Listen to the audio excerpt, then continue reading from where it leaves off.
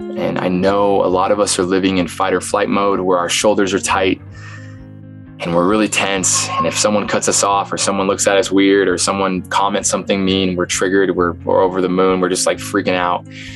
And just to surrender that. And for the first time, maybe to get out of survival mode and, and get into thriving mode where you deserve to live a life where you feel beautiful, you look beautiful, you feel confident, you feel excited to wake up, excited to go to sleep, excited to see your parents, excited to see your friends, your siblings, and you live a life where you can't wait till the next day, even though you're extremely present.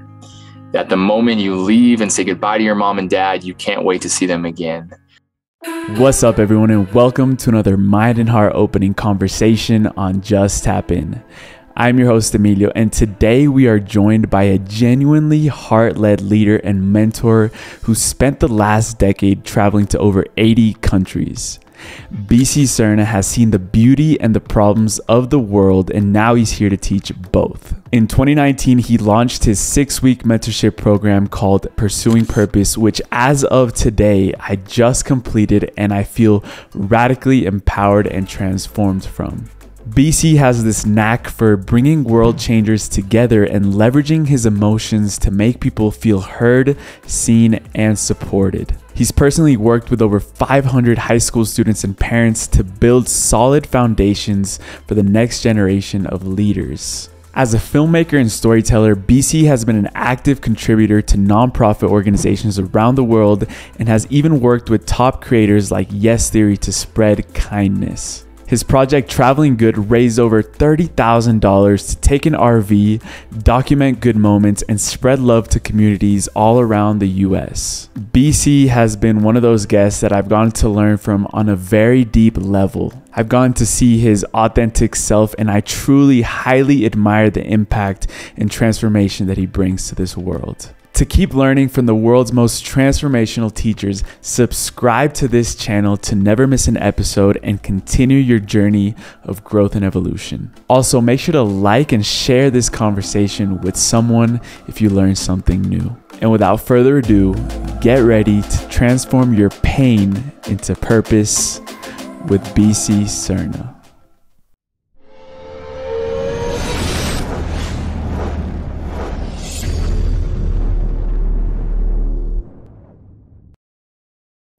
BC, welcome to the podcast, brother. How are you?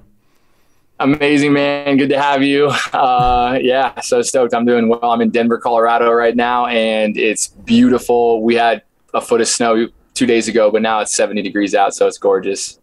Awesome, brother. I haven't been to Denver. I still need to get out there. Uh, I'll be there soon. So I look forward yeah. to meeting you in person, brother. But I'm really, first, I wanted to say I'm really grateful. Uh, and I've told you this before that I came across spontaneously through your profile. I think I don't even remember how, um, but it was just like a serendipitous thing, and we started connecting on Instagram shortly ago.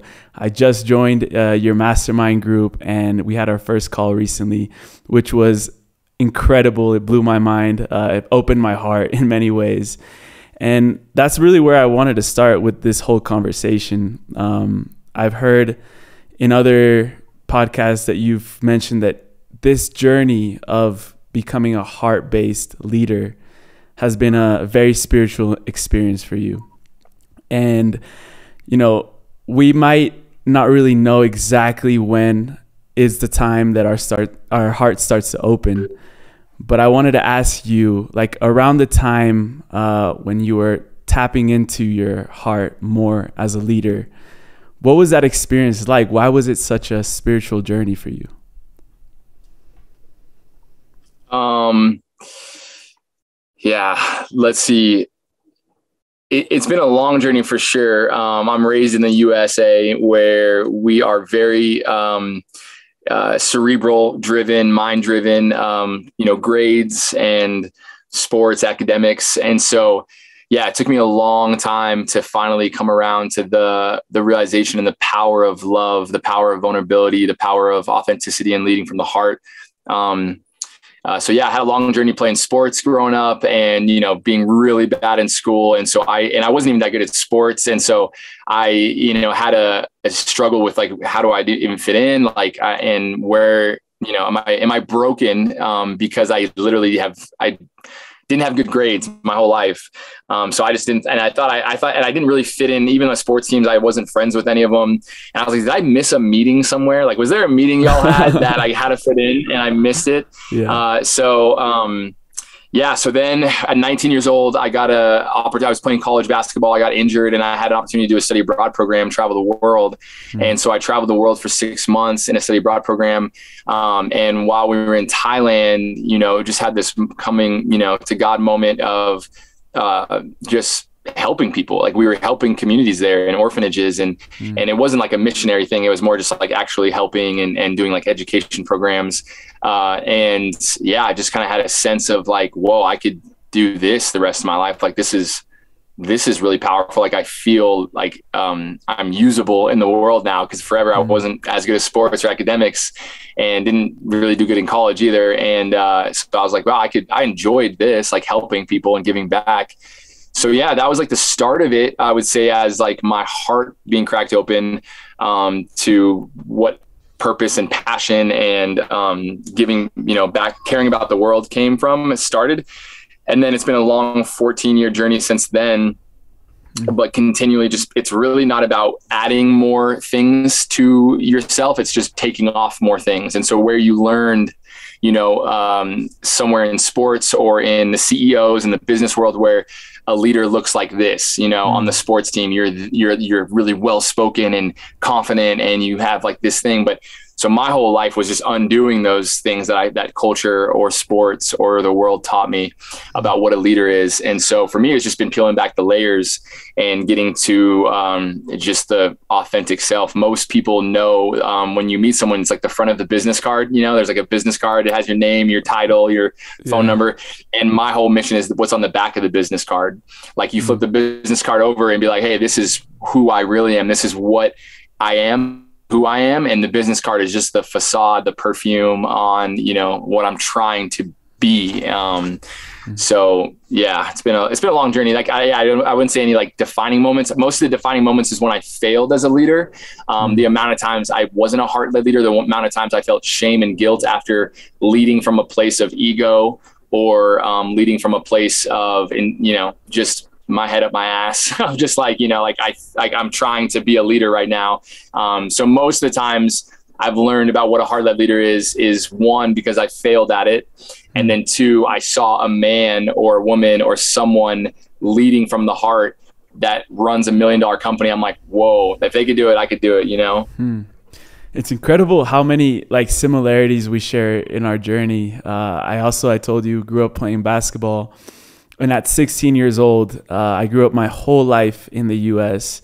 and I come from both my parents are Colombian. And at 16, my dad tells me, "Hey, we're moving to Colombia." I got transitioned in my job, and at that point, I was literally my dream was to play basketball for the rest of my life. That was all I ever did. It was either, you know, being with my friends or playing basketball. And obviously, in Latin America, basketball is not a, a huge sport. It's like if you're playing soccer, football, or you know, you're not really playing any other sports. So when I got here, it was about that peeling back of who am I now? Like I am still like a basketball player, but who else am I? Who else can I become?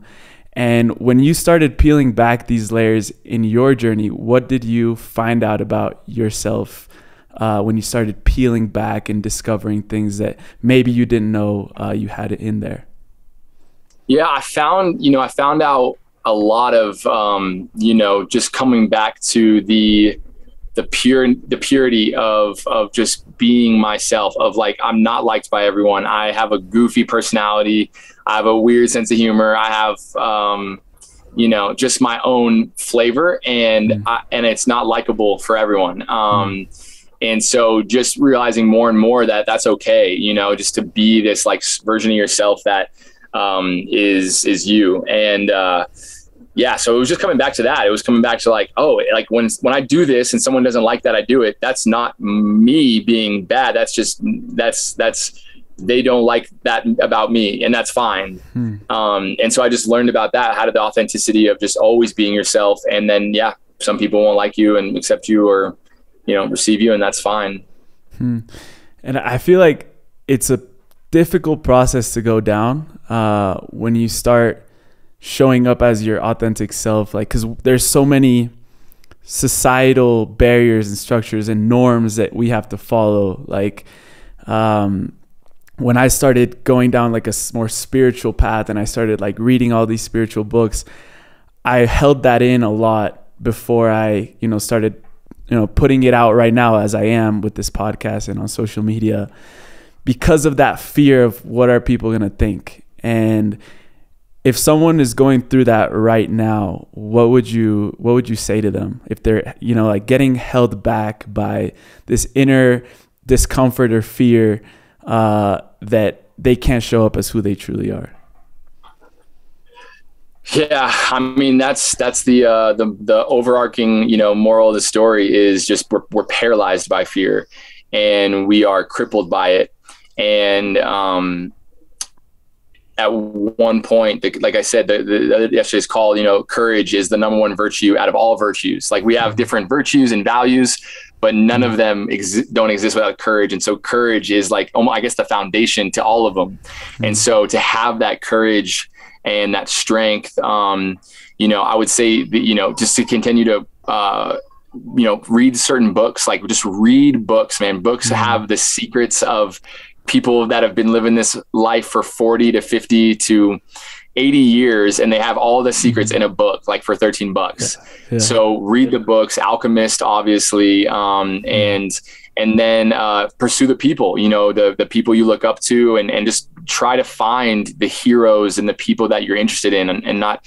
not because they're famous or rich but like really authentic transparent um, just real people and mm. uh, yeah that that kind of helps the fear where you're like okay someone else is doing it so now i have courage um, mm. or now i have hope that i can do it too so hope is obviously the the hope is the only thing that kills fear a lot of people think love is but actually mm. hope is the only thing more powerful um, to, to kill a fear. And so when we're crippled as a society, whether politically or religiously or culture, to become liberated, uh, we need to have hope and um, yeah. belief. And that's like from uh, if you if you ever read um, Man Searching for Meaning. Yeah, yeah. Yeah, Powerful that's book. a big. Uh-huh. Yeah, that's a man searching for me. And the guy that was in um, Auschwitz, the concentration camp, mm-hmm. um, during World War II in, in Germany, and he's like, I just had hope. I had hope that there I, there was a life after this.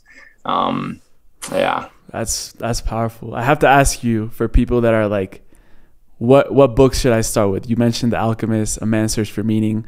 Has there been a couple of books that you say like you were gonna give this to your son, you know, when he can read? You know, like what is it gonna be? I mean, there's one book I probably have given to more people um, for the for the like my 20s. It was called Love Does and hmm. the author's name is Bob Goff. And I heard about the book one time and then I was in Uganda, in like northern Uganda, and I was at this orphanage, and apparently it's his orphanage.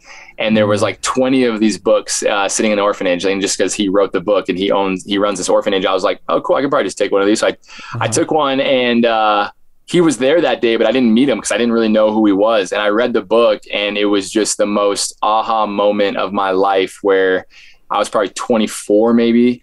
And he's written four he's written three more books since then mm-hmm. um, and he's pretty well known now. Um, but yeah that was the first book i read where i was like whoa the this guy lived it. A lot of people can speak on stages and sound really good and and a lot of people can write books and sound really smart and and some people can even speak on stage and make you cry. But but to really see someone that puts the life like the way they live the way they approach their marriage their parenting their um, passion and, and their business, like everything, if you can approach it in a way that's very whimsical, very like kind of just grounded in the spiritual um, essence of joy and play, hmm. um, then I'm really inspired by someone. I'm really, I'm really like, oh, cool. Now I'm listening because that way you're living. And so, uh, yeah, that book was a big game changer for me for sure. Hmm.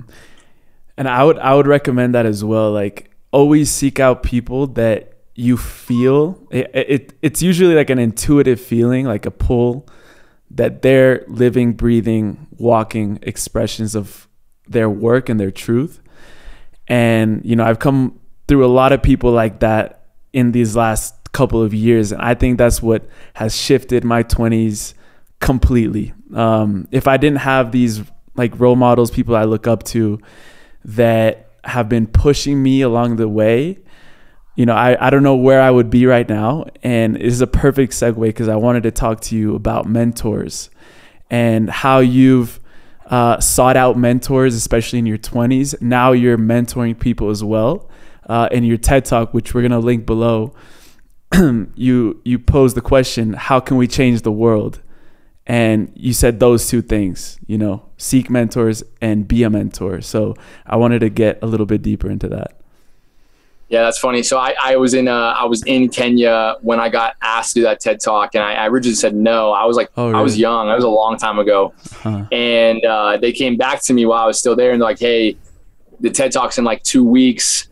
Um, can you do it? We would love to have you on the spot. It's in Atlanta, Georgia, and I and it was a TEDx talk, and I was like, sure. I was like, why not? If you're inviting me, like it must be some reason. So I, I hmm. made that TEDx talk uh, by myself in in about a week. Uh, but I, you know, just posed the question, and it's a question I ask a lot of people now. I ask a lot of people um, whether it's like a just a cool question of someone you meet or someone you you known for a while, like, hey, what would your TEDx talk be? Hmm. And it puts you in this seat of like, what is my 15 minutes in front of the world message? And so I'm sitting in Kenya and I'm like, whoa, this is a big deal. This is 15 minutes. And let's just say it's the last message you're going to give to the world. Let's say you're going to die afterwards. What is my 15 minutes on stage going to mean to someone?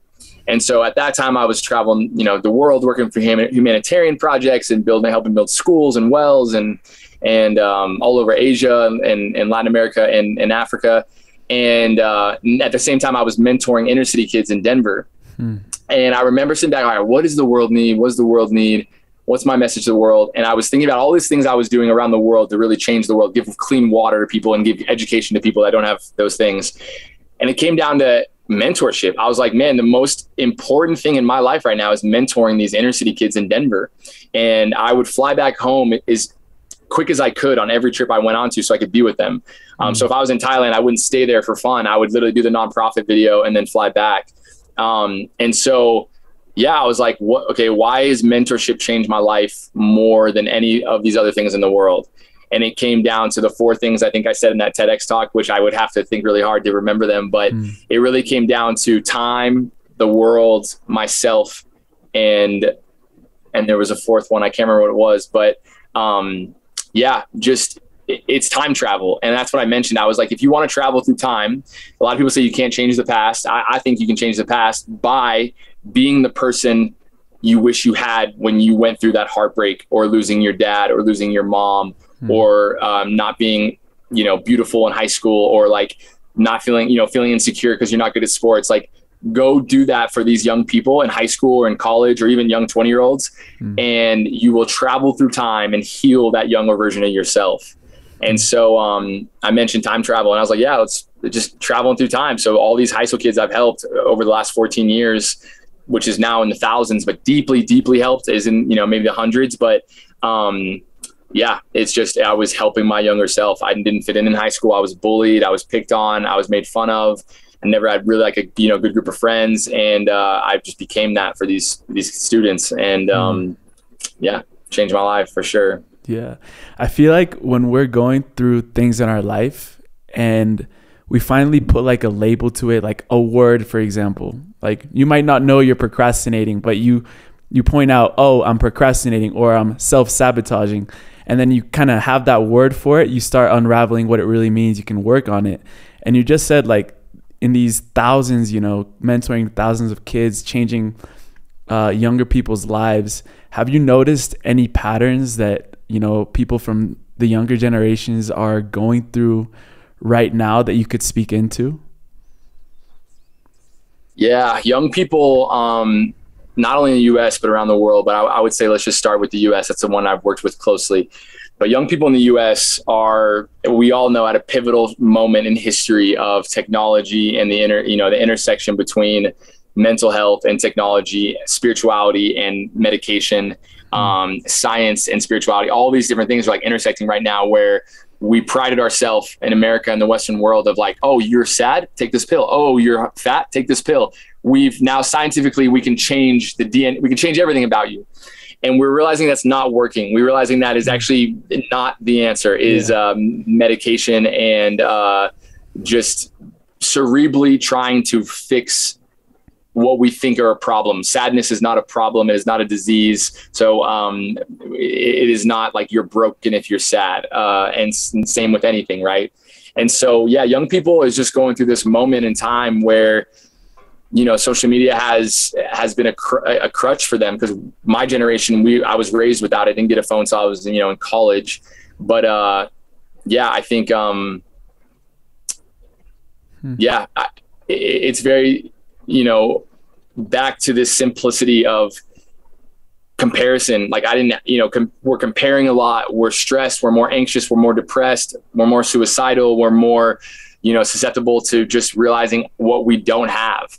Um, social media has invited us into a space where we literally, in one scroll of like three different scrolls, we see someone got married, someone had a kid, someone died, someone, uh, mm. country is at war. And within that three scrolls, the amount of emotions and chemicals, humans were never designed for that. We have nothing in our circulatory system or like our, our bodies to, to feel those four different emotions immediately um, where it's you're hopeless because there's a war, you're angry because someone attacked you, you're you're happy because someone got married, you know, and all these different things, and so your body is just freaking out in this panic mode, and so it's trying to process what is going on because um, your subconscious doesn't know the difference between what is real and what's not, hmm. and so um, yeah. And so my mission for the last 14 years is I bring these conversations and workshops into high schools.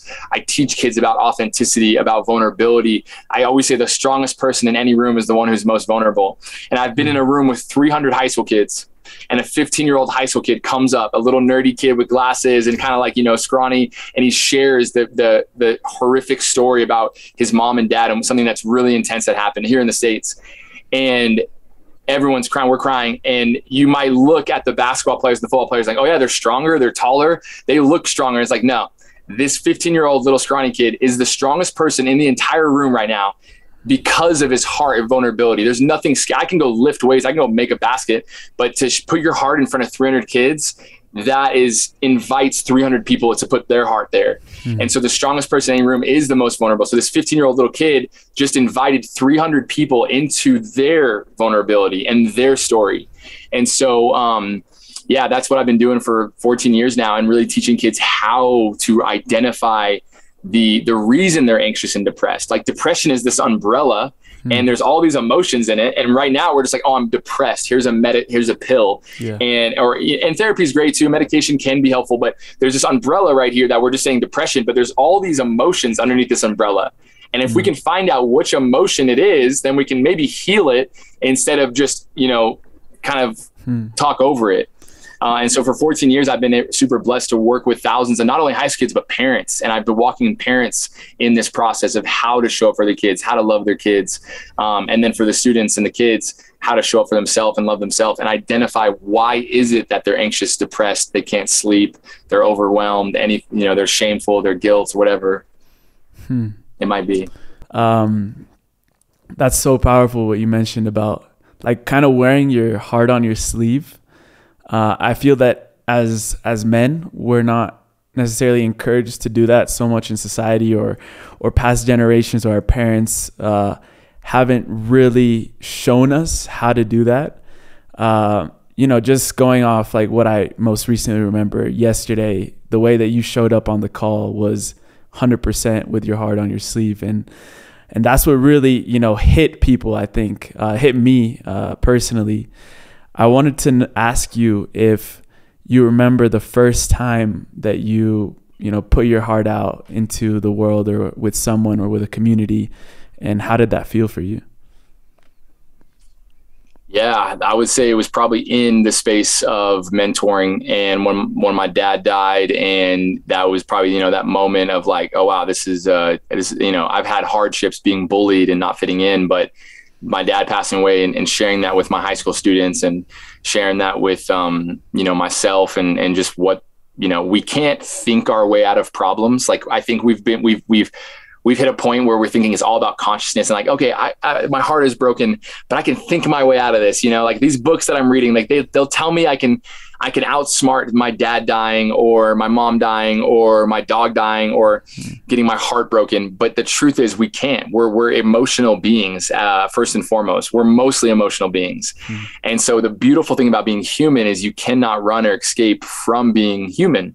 Uh, you can try, but man, there's no one escapes it. No one escapes heartbreak, losing a parent, losing a loved one, um, compassion for a war going on or whatever it might be. So you can't think your way out of these, these, these problems And so, um, yeah, I think for me, you know, hitting that moment where I lost my dad and telling my high school kids and, and just feeling cathartic about it when you when you finally share something to someone whether it's something you're shameful about an addiction you have uh, uh, something you've done that was really shameful um, and you just like it's like stuck in your throat and everything in your heart is trying to push it out of your throat into your into the world and then everything in your brain is trying to force it back down into your body and in the moment you finally find this safety and, and security to do it you have this cathartic energetic release that your brain couldn't have never thought out in a million years mm-hmm. and so um yeah i think uh that was probably my starting point. But mm. I think from the last 14 years, I've done it many more times with uh, hundreds of students and and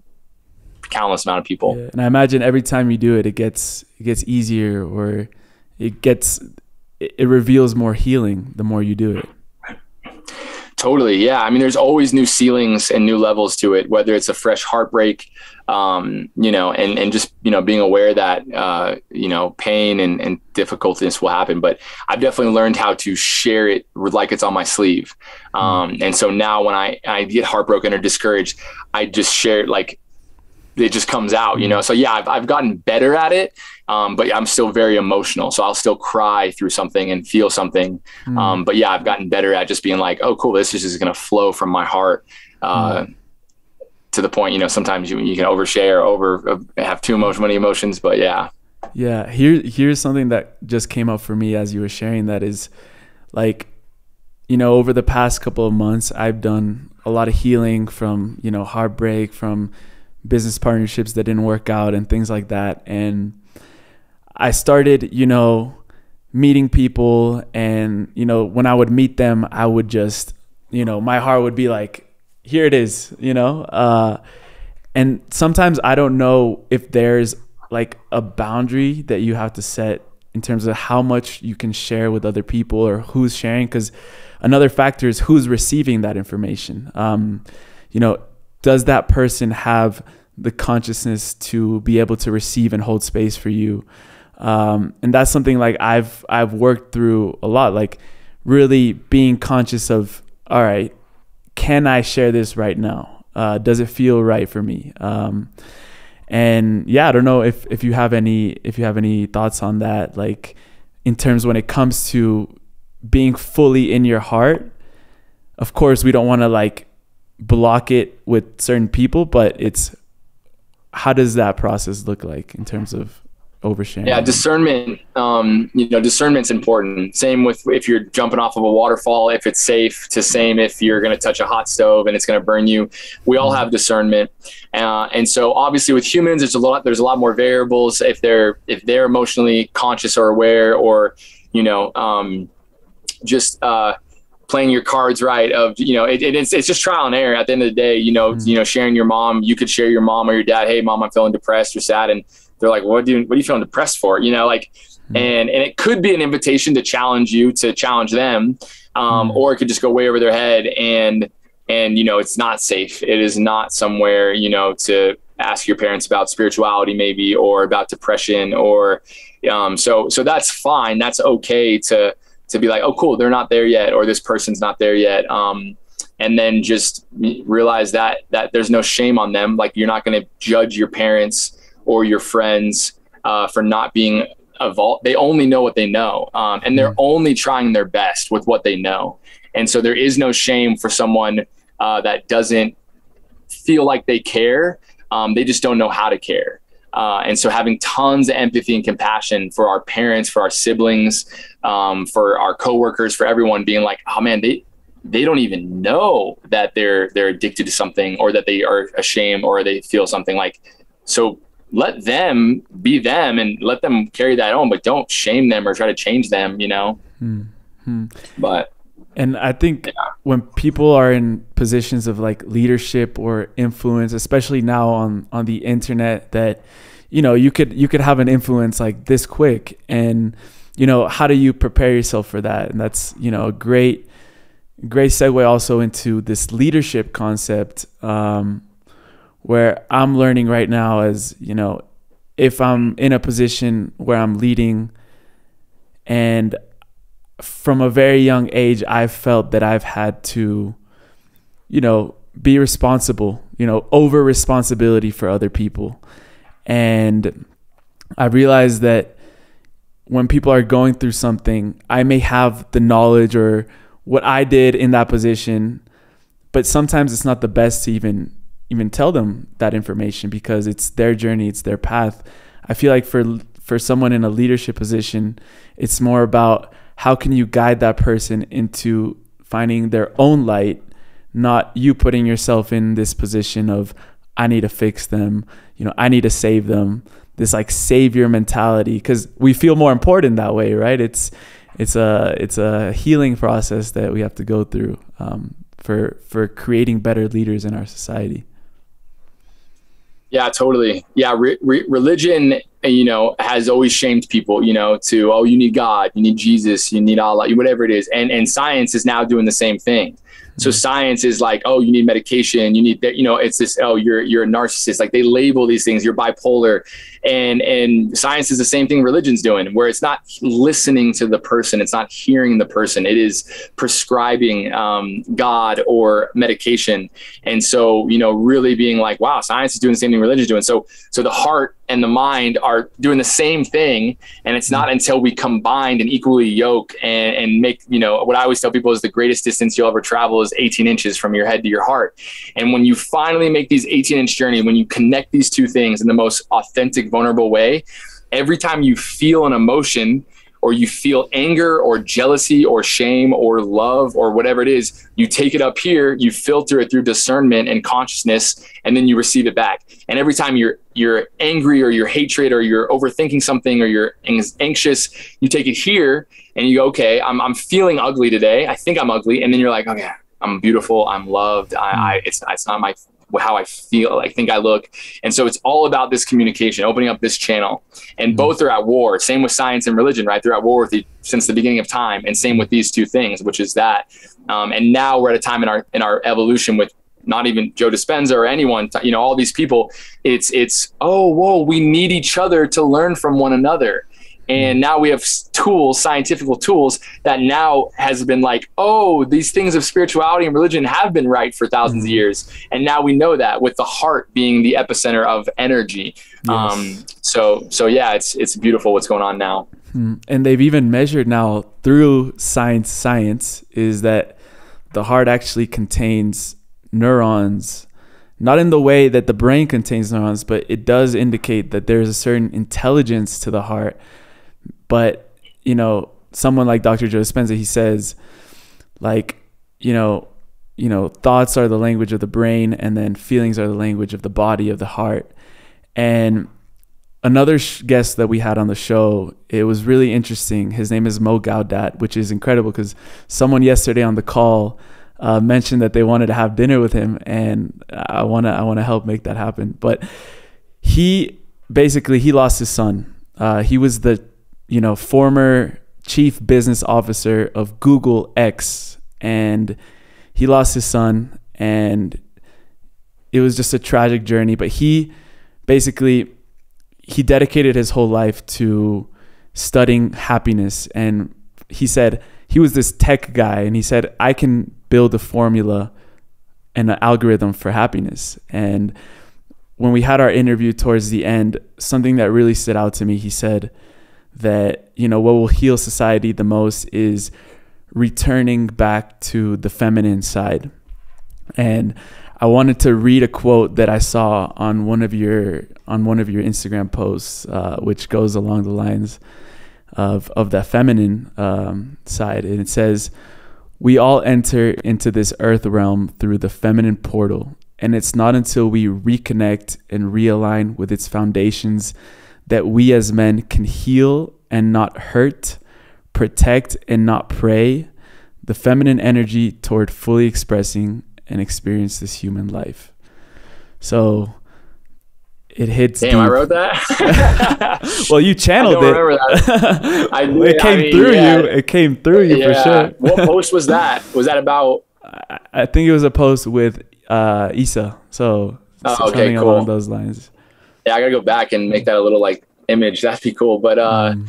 yeah, that that I mean, I definitely had an emotional experience. I went to the desert um, at the beginning of like a year and a half ago, and uh, turned my phone off and turned social media off. Um, I spent about 40 days, like two months in the desert. So over 40 days. And, uh, yeah, I had an emotional experience with the feminine energy. Actually, I mean, it might sound woo woo for a lot of your, I don't know, your followers are more cerebral and, and not stuff, at all. This, Trust this, me. yeah, yeah, but it might sound woo woo. And I'm sure even to me, it sounds crazy, but I had this moment where the full moon came up and it was this huge pink full moon. I was fully sober um, hmm. not only just from any you know substances, but from my soul. Like my soul was sober, and I always hmm. tell people to sober your soul from social media, from buying things, from looks. Like I had my beard grew out. I I uh-huh. didn't like the way I was looking technically, and uh, I was dirty living in you know a van at 32 years old in the uh-huh. desert.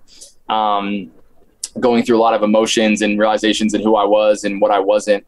And uh, just started crying and had this emotional moment and going through like this um, like this emotional portal of the feminine.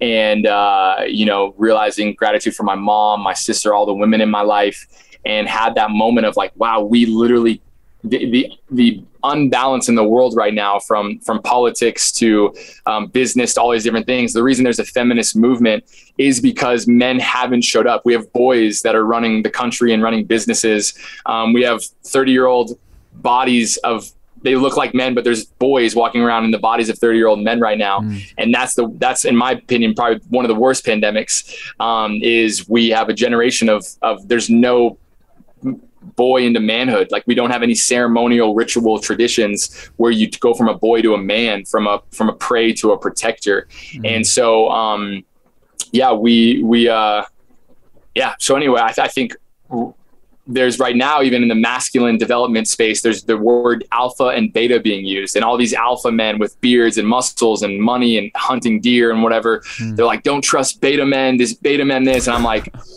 yo you're not you're that is you're make you're literally proving the point you know and mm. so uh in that dance of divine masculine to identify the power in the feminine. The reason that men are so addicted to pornography right now is because we're so mad at our moms, mad at our high school crushes, mad at our ex-girlfriends. Like we we're so addicted to sexual energy that is tied to the, to the woman's you know vagina and the woman's breast that we're like just addicted 80% of men 70% of men or whatever it is addicted to porn at least in the us and um, it is because of this unbalanced unhealed unlike identified trauma to the feminine energy.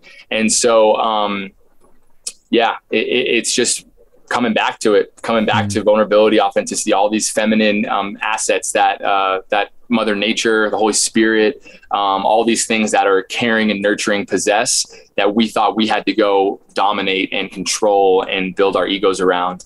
Mm-hmm. Um, yeah, yeah. I'm so fascinated about that topic and I've also heard about this, you know, concept of like we don't. There's no transition between boyhood and manhood. Um, what would that look like on on like a more practical level? Like if you were, would you run like ritual ceremonies to get boys into? I know there's a lot of cultures that already do this that we don't, you know, we we don't see in the mainstream uh, media, but maybe if you've had an experience with that, or or what would you do uh, differently if you were about to yeah transition. ritual i mean yeah i mean thousands of years country or culture has been doing it for thousands of years you know and and tons of rituals and traditions and ceremonies um, mm. yeah we don't have anything like that in our states you know when, when i work with with um, young teenagers to adults to 40 year olds uh, i've worked with 70 year old men before in my programs mm. and uh, it all comes down to just healing the heart asking the questions you know when did your dad tell you not to cry? When did your mom, you know, tell you that you didn't look good? You know, just going back to these questions of like, do you remember the moment you thought you looked different? Do you remember the moment that first girl that you liked didn't like you? And going back to those moments of what you thought a man, you remember the moment you got tackled on the football field and hurt and everyone made fun of you, you know, just going back to these moments of when did you feel unsafe and unseen? And, and can we talk about it? you know, mm-hmm. and, uh, and then there's there's different beautiful like you know even spiritually the baptism you know of like the ceremonial like all right I'm I'm I'm you know there's some cultures there's a movie where this you know this uh, boy is in this white boy is in this this tribal village being raised and the ants have to come and all these fire ants come bite his whole body for like the whole night. And then uh, the next morning he's a man and it's like this oh, whole wow. ceremonial tradition. And uh, yeah it's in the amazon like it's it's a really uh, crazy thing. I mean normal for them but uh, yeah so there's so many different things eh, but like through the pain like all night these ants are biting you. Like it has to go through this pain. It's like and that's why most men don't ever evolve unless there's a heartbreak involved. Like most men will play small in this boyhood you know money and sex pornography all these different things and then they finally get this woman that they're like whoa this one's amazing and but they didn't elevate enough and so they she left him and then he's like whoa, I really got to work on my shit. And you could be mm. 25, you could be 35, you could literally be 55 going through a divorce right now, being like, I got to do the work now. So, yeah, no one escapes it. No one escapes it. I mean, huh. some people I'm sure go to their deathbed with the mask still on and the money is still, you know, stacked up, but uh, maybe it's that moment before they pass where they're like, shit, you know. Mm. And it's also like that process of the hero's journey uh, you know, when we started the the mentorship, you said answering the call. That's that's one of the first steps of the hero's journey, like call to adventure. And I know you you know you uh, in your 20s you were living with the Yes Theory guys and things like that. Uh, we're not too long ago actually. I, I don't really know exactly the date, but you know they're all about you know seeking discomfort and you know going doing experiences that are gonna could feel painful. Like these guys are jumping in the ice with Wim Hof and doing different things. So it's that power of pain that I wanted to speak into or discomfort that that really allows us to keep growing and evolving because without that we can't stretch our boundaries we can't stretch like what we think our perceived limits are hmm. Yeah, totally. Yeah, the human um, consciousness, uh, you can also call it the ego. Um, it, is to protect us and it is to keep us uh, alive. That's all it was designed for to do. It wasn't designed to love. It wasn't designed to, um, uh, you know, make money or I mean, unless money protects us and keeps us safe. But it was really just designed for survival, um, even down to the biological sense of um, procreating with a woman. Um, and so you know, when you stay enough in your mind, your thoughts, your cerebral, then it is really easy to be disconnected uh, to purpose, to uh, pleasure, to passions, to um, fulfillment and meaning. And so, uh, yeah, it's all on the other side of what is keeping us safe. Um, and what is keeping us uh, away from engaging in the mysteries and the magic and the wonderment of life, like the whimsical life we have to offer is on uh, is there. It's just this it was not designed to understand it. Um, and so yeah, it's the journey. Hundred percent. And uh, yeah, I mean, speaking about you mentioned purpose, and I, I think that's a great way to start like ending this beautiful conversation um, because you know you have their podcast pursuing purpose and a lot of the things that you talk about are about you know discovering that and w- what does purpose mean? And just the first thing i wanted to speak into um, for a lot of people i think this happens is our parents don't normally support what our passions are or our purpose is. Um, maybe not on a like because they don't want us to pursue it but because there's a fear underlying it. Um, i wanted to let you kind of unravel why that happens um, especially you know with our parents especially um why why does that happen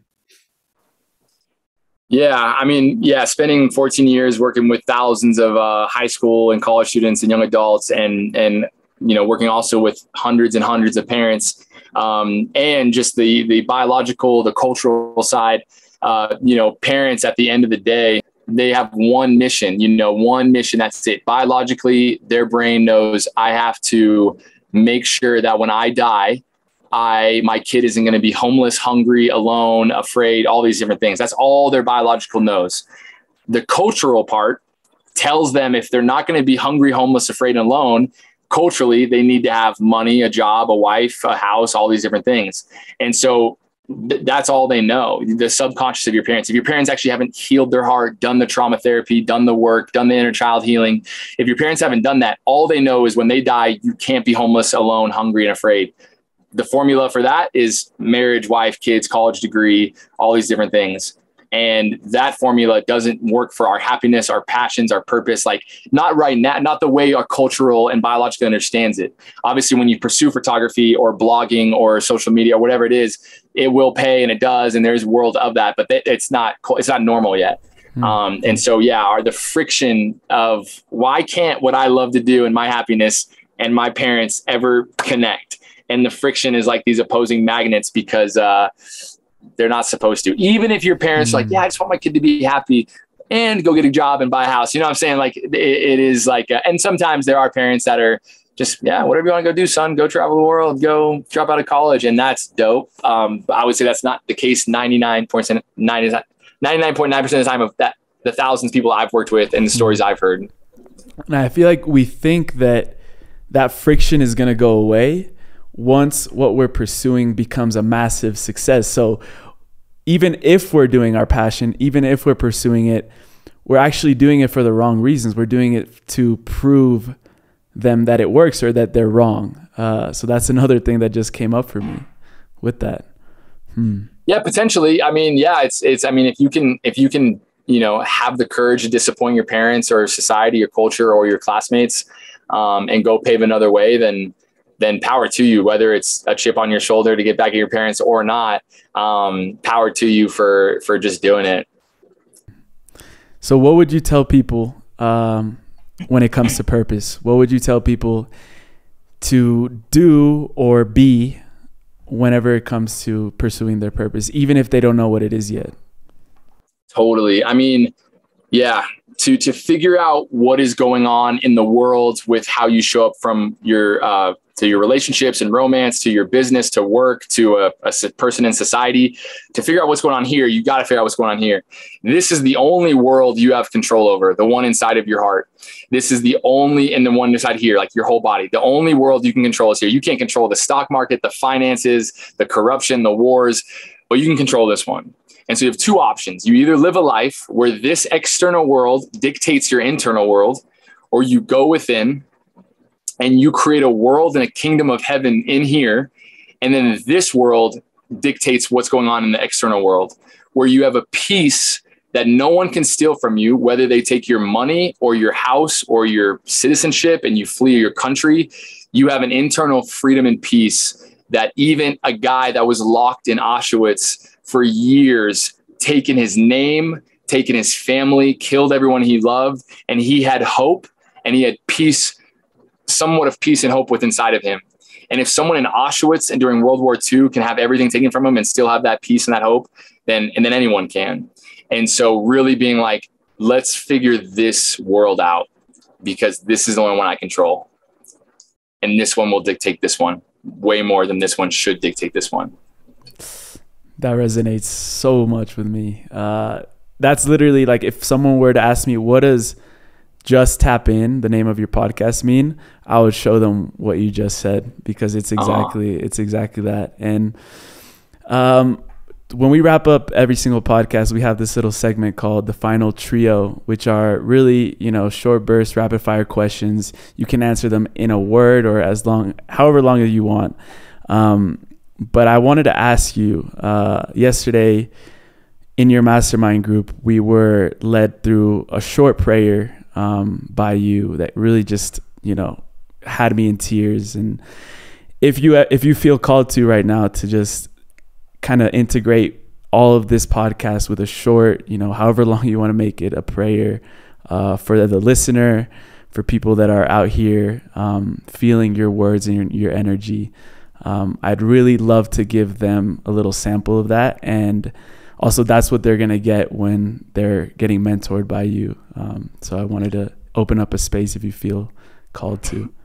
Yeah. Well, if you're listening, um, congratulations. Uh, I would say first and foremost, congratulations on being someone part of the uh, small percentage. I would say less than one percent of someone who actually is doing the the the work of living an intentional life of reading the books, listening to podcasts, asking myself hard questions, seeking people to follow that are inspiring and, and like yourself. And, and so I want to say congratulations first and foremost for listening to this podcast as uh, your heart is on a journey that um, your future self is extremely proud of you.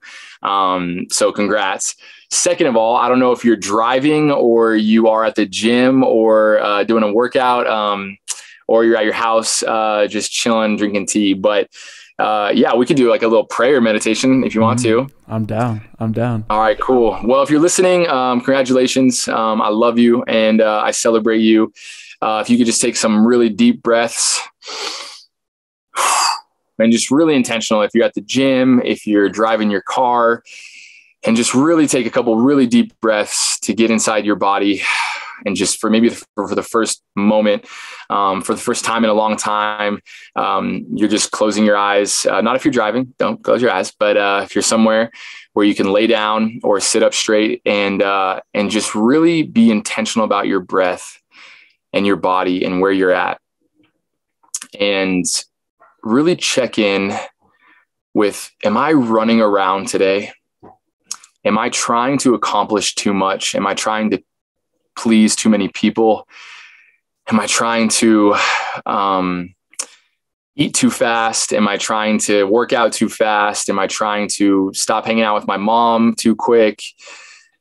Am I trying to get on social media? Am I trying not to make my bed? Am I trying not to text someone back? Am I trying not to forgive someone? And just keep breathing, asking yourself these questions. And maybe for the first time in a while, you've just sat in stillness and silence um, with yourself.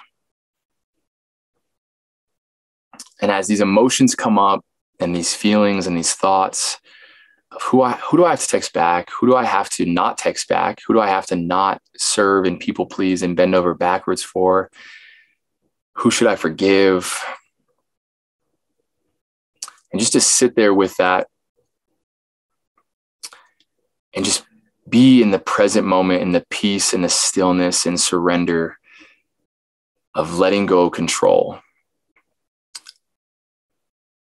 Surrendering control, letting go of forcing things, forcing friendships, forcing people, forcing emotions, and being in flow.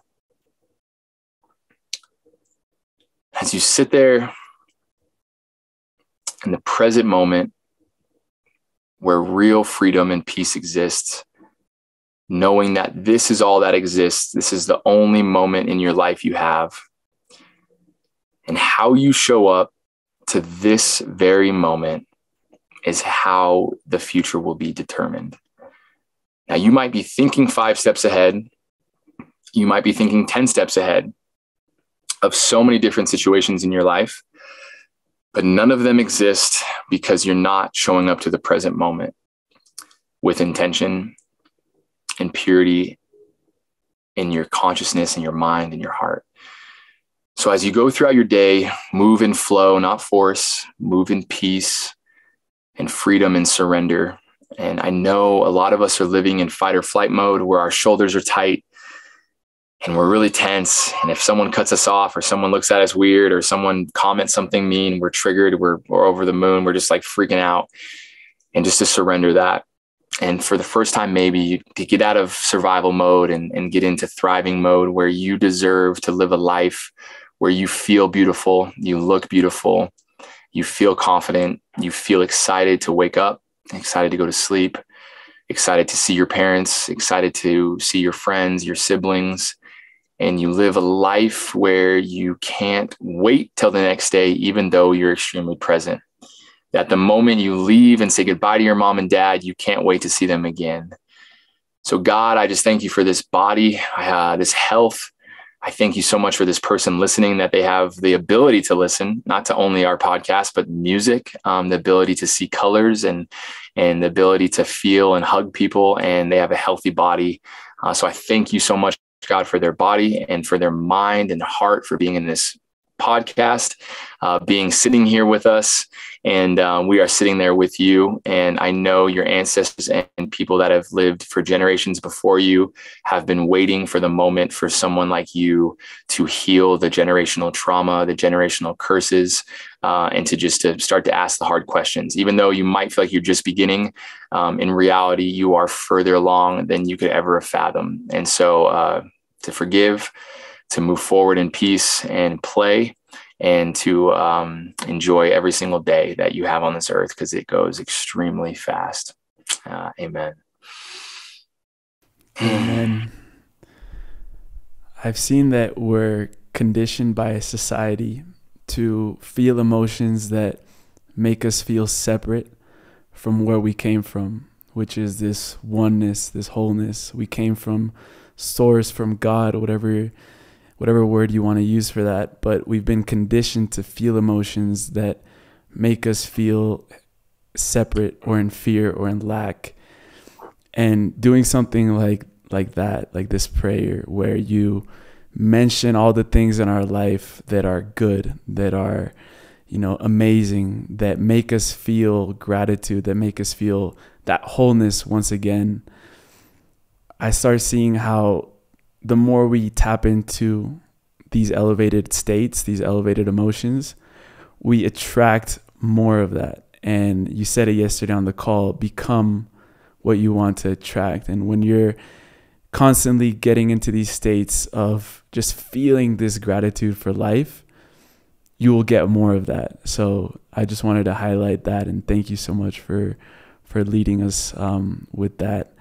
And you know, before the final trio, I just wanted to open a space for you to uh, tell people where they should find you, what you want to announce, uh, anything special coming up for you that you want people to uh, go to if they want more from BC, uh, anything really that you feel Yeah, yeah. Shoot me a DM on Instagram, BC Serna. Um, my movement uh, that I created uh, like three and a half years ago is called Pursuing Purpose and we host in-person retreats we host online masterminds uh, with people all around the world we've had over 130 people come through our programs and retreats from over 25 countries um, from ages 16 to 45 uh, in three years. And so, yeah, we've been super blessed, and God's been doing some really cool things with pursuing purpose. Uh, so, if you want to do an online program where you get to hang out with us more and learn more about what I talked about, and then if you want to come on a retreat, stay tuned for that. Hmm. Amazing. And and I just joined the 4.0 mastermind and I'm really really hyped about this. Uh, I can already tell the energy in the group is incredible, so I encourage people to look into that. Um, final trio.